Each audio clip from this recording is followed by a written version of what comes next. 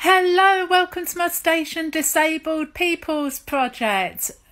DPP or disabled people, where we celebrate a disabled person from past or present uh, who's doing uh, amazing things uh, and about them and their disability. Uh, today we are talking about Mark Lane. Mark is a TV presenter, landscape designer, and author.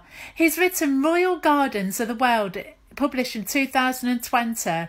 After university studying art history, Mark got into architecture.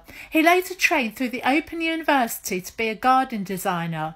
Mark then went on to write numerous articles about gardening. Mark now regularly presents on the BBC morning show Morning Live. Seeing Mark present many garden segments was important for me because it showed disabled people could do gardening. He is the first disabled TV gardener and he does char- charity work and is a patron of the Gardening with Disabilities Trust, which more information can be found on the website in the comments section. Mark was born with spina bifida, which more information can be also found on the NHS website in the comments section too. He later had a car accident which meant numerous operations on his back and he uses a wheelchair.